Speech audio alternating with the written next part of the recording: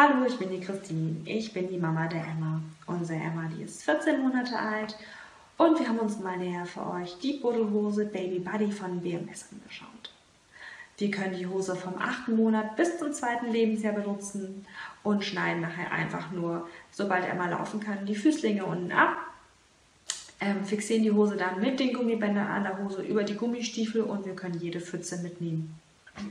Die Hose ist sehr, sehr wasserdicht, atmungsaktiv und strapazierfähig. Das Material ist ganz, ganz weich. Es ist ein Softskin-Material und die Hose ist sehr großzügig geschnitten, sodass wir unten drunter noch einen dicken, fetten Fleece-Overall anziehen können. Ich finde die Hose sehr, sehr praktisch, denn wir können sie super gut in die Kita anziehen oder auf jedem Spielplatz, ohne dass wir darauf achten müssen, dass danach Schmutz ins Haus kommt.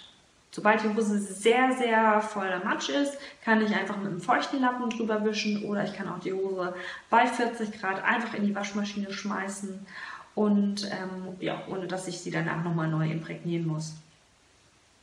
Die Hose ist laut Ökotex schadstofffrei und sie ist an der Front und am Rücken recht hoch geschnitten, sodass sie halt keine Kälte und Nässe durchlässt.